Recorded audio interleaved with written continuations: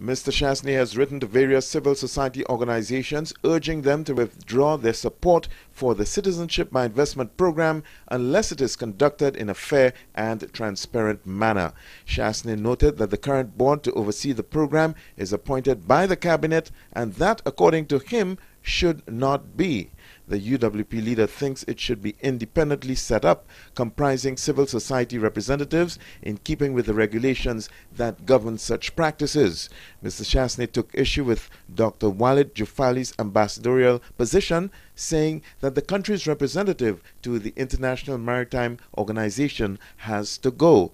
According to Mr. Chastanet, Dr. Jufali has failed to appear at 27 meetings held by the IMO. Well, the difficulty is, sir, is that we need to be assured that this program is being run clean and that it's independent and autonomous away from government. Right now, you have a situation in which all of the board of directors are appointed by cabinet, and also cabinet has the opportunity of firing those same people, and that the minister has the final say on all applications.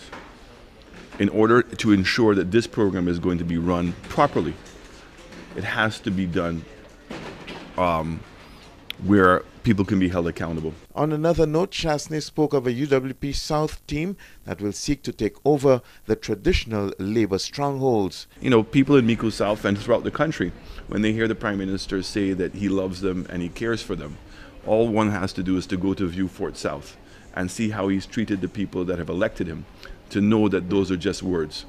Um, and people are tired of the false promises of this government um, and it is now affecting their daily lives.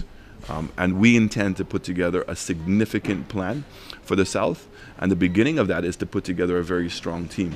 So we already have Dr. Mondesi. You now have Mr. Jean Pierre. We're now waiting for Choiseul. You have Gail and myself um, that are going to be forming Team South. Chastanet said he's up and ready for any challenge to the Micoud South seat where he will do battle.